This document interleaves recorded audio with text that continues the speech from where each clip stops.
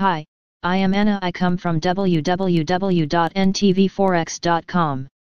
GBP USD trades with modest losses, around mid 1.3300s ahead of Bo S. Bailey http ntvforex.com news ID 23B79E 4 minutes ago by Haresh Menghani GBP USD extended the previous DIA S retracement slide from YTD tops. The USD built on the overnight bounce and prompted some profit taking. The downside seems limited ahead of Bo Governor Bailey's testimony. The GBP USD pair weakened further below mid 1.3300s during the early European session and refreshed daily lows in the last hour, albeit lacked any strong follow through.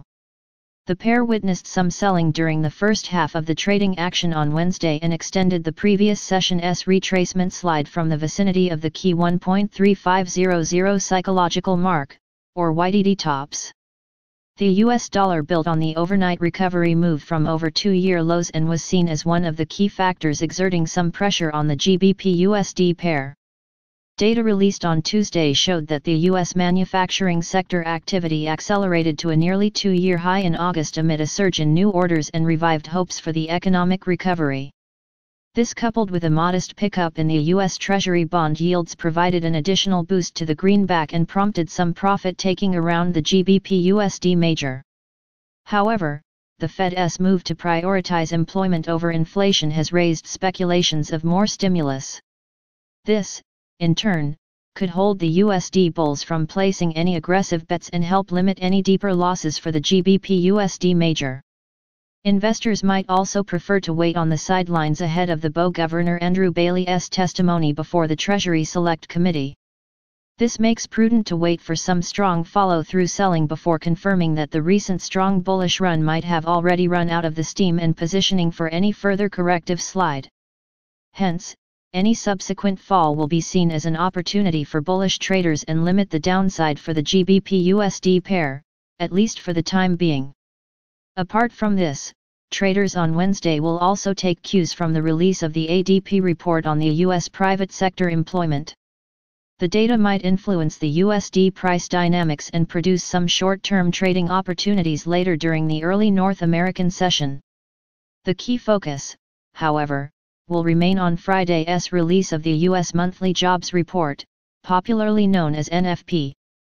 Technical levels to watch GBP USD overview today. Last price 1.3356 today. Daily change 0.0028 today. Daily change percent 0.21 today. Daily open 1.3384 NBSP trends daily SMA 201.3155 daily SMA 501.2858 daily SMA 1001.264 daily SMA 200.2734 NBSP levels previous daily high 1 1.3482 previous daily low 1.3356 previous weekly high 1.3357 previous weekly low 1.3054 previous monthly high 1.3396 previous monthly low 1.2982 daily Fibonacci 38.2% 1.3434 daily Fibonacci 61.8% 1.3404 daily pivot point S1 1.3333 Daily pivot point S2 1.3282 Daily pivot point S3 1.3207 Daily pivot point R1 1.3459 Daily pivot point R2 1.3534 Daily pivot point R3 1.3585 NBSP NBSP Subscribe our channel to receive the news as soon as possible. Thank you for watching. If you want to read real-time news, Text messages to MT5 Expert Advisors page at https m.me mt5.expert.advisors.